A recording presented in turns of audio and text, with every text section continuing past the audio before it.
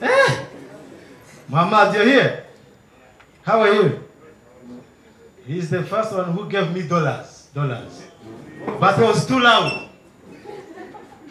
I don't know if accents are something that people do learn, or you just you, you're born and you find people speaking a kind of accent, then you cop up. This guy called me in his office.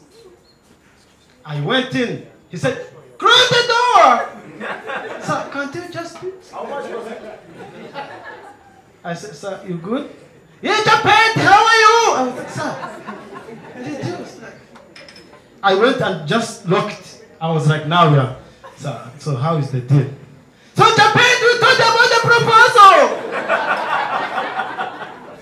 So I was like, "Sir, wh- where, where is the problem?"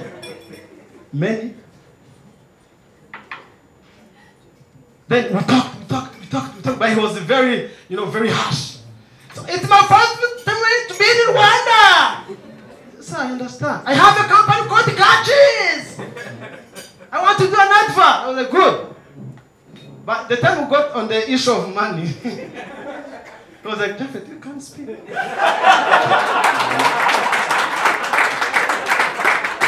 exactly how much do you want? I was like, one million, no, speak.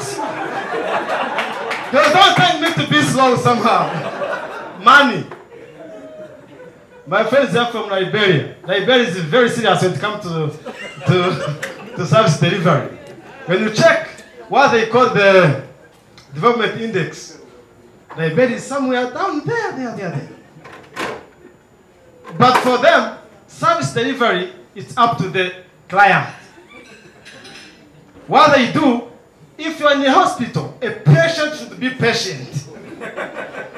they don't joke. If you're here, yeah, no, you have to be patient because you are a patient here.